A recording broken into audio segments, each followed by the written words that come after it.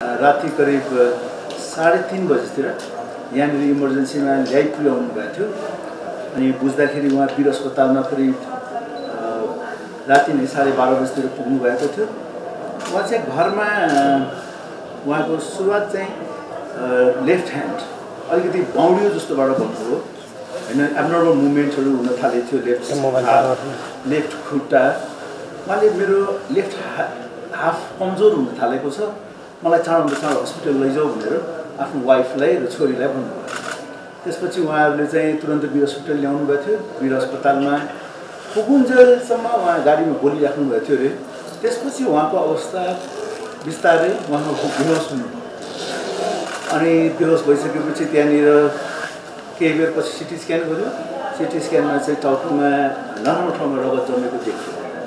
त्यसपछि त्यहाँबाट क्रिटिकल एकदमै क्रिटिकल कन्डिसन हो भन्ने कुरा त्यहाँको डाक्टर साहेबहरूले बुझेर त्यही वीरकै एकजना डाक्टर साहेबले चाहिँ तुरन्त उहाँलाई नर्विकमा लैजाउनु बेस्ट हुन्छ भनेर उहाँले कुदाएर डाक्टर साहबले आफै कुदाएर राति लिएर आउनुभयो यहाँनिर। मैले खबर पाएँ राति तिन साढे तिन बजे कल गर्नुभयो। तुरन्त हामी पनि म पनि कुदेर आएँ यहाँनिर हेरेँ। हेर्दाखेरि त उहाँको अवस्था उहाँ कोमामा हुनुहुन्थ्यो सासहरू फेर्न गाह्रो भइरहेको थियो।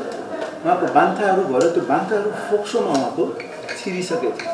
त्यसले गर्दाखेरि अक्सिजन यो सास फेर्न समस्या थियो यो कारणले गर्दाखेरि त्यो इमर्जेन्सी इन्क्युबेसन भन्छ त्यो पाइप राख्यो सास फेराउनलाई अनि त्यो जति पनि घाँटीमा त्यो बान्ता गरेको चिजहरू थियो तिनीहरू निकालेर एयरवे क्लिन गर्यो अनि हेर्दै हेर्दै आएको आँखाको नानी चाहिँ उहाँको एकातिरको फुलेको देखियो कि दुवैतिर यदि कसैको आँखाको नानी फुलेको छ भनेदेखि त्यो चाहिँ अलमोस्ट डेथ मान्छेहरूमा जस्तो देखिन्छ।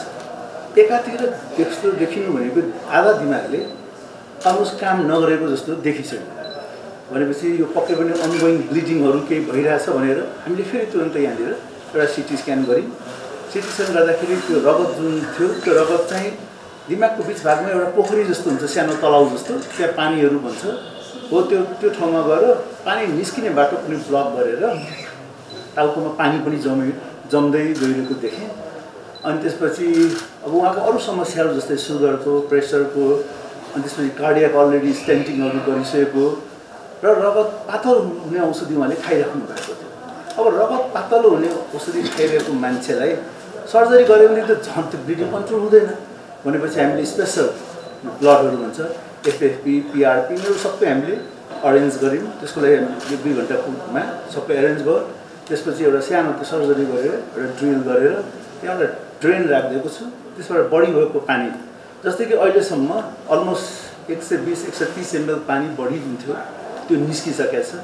त्यसले चाहिँ पक्कै पनि टाउको जुन प्रेसर बढेको छ त्यो हटाउनमा मद्दत गरेको छ। ओभरअल भाइटल्स हेर्दाखेरि अहिले सबै चिज स्टेबल छ। अलिकति लो ब्लड प्रेसर भएकोले ब्लड प्रेसर बढाउने औषधिहरू दिएको छ। तर हामीले कम्प्लिट त्यो भेन्टिलेटरमा सेडेट गरेर राखेको छौँ ताकि नचल्नुहोस् उहाँ नखोक्नुहोस् त्यो भयो भनेदेखि ब्लिडिङहरू हुने सम्भावनाहरू बढी हुन्छ। अब यो अवस्था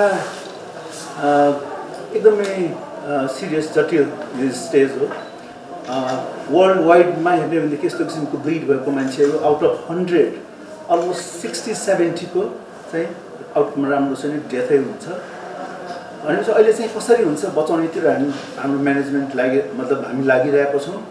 अब जो मान्छेहरू जुन भने थर्टी पर्सेन्ट जति जो सर्भाइभ गर्नुहुन्छ उहाँहरूको चाहिँ एक किसिमको ठुलो प्यारालाइसिसहरू देखिने रहने सम्भावनाहरू लामो समयसम्म रहन्छ। अहिले अब यही भेन्टिलेटरमा सपोर्ट गरेर हेर्दै जाने हो जस्तै हामीले सेडेसनहरू उहाँलाई बिहान फेरि होल्ड गर्छौँ हेर्छौँ उहाँको होस कतिको आएछ सास फेराइहरू कतिको सहज रहेछ। त्यही अनुसार हाम्रो हरेक भनौँ न आवरली हेरेर फर्दर हाम्रो प्लानमा प्लानहरू हुन्छ। यो एकदमै कमन हो हाम्रो देशमा। होइन मान्छेहरूले चाहिँ समयमा औषधिहरू नखाइदिने ब्लड प्रेसर भएपछि होइन त्यो औषधि सकेसम्म खानै नपरोस् भन्ने हाम्रो मेन्टालिटी छ कि अचम्मको छ। रोग लाग्छ भने खानु पऱ्यो नि। अनि त्यसपछि नखाने त्यसपछि अरू नै थरीको प्रविधिहरू न अप्नाउने के? भन्ने डिफ्रेन्ट छ नि हामीले आयुर्वेददेखि लिएर। मान्छेले मतलब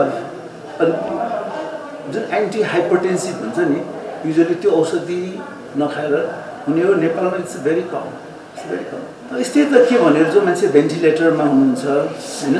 जसको लागि ब्लड प्रेसरलाई नर्मलाइज गर्नलाई ब्लड प्रेसर बढाउने आइनो ड्रप्स भन्छ त्यो दिइरहेको छौँ। त्यसलाई स्थिर त भन्न मिल्दैन। तर के छ भनेदेखि त्यो डिटोरेट भएको पनि अवस्था छैन अहिले कि जहाँबाट हामीले ओके अब चाहिँ सायद बाँच्नुहुन्न भन्ने अवस्था पुग्नु भएको छैन। हामीलाई थोरै भए पनि आशा छ। अनि त्यही आशामा आशाको लागि हामी काम गरिरहेका छौँ।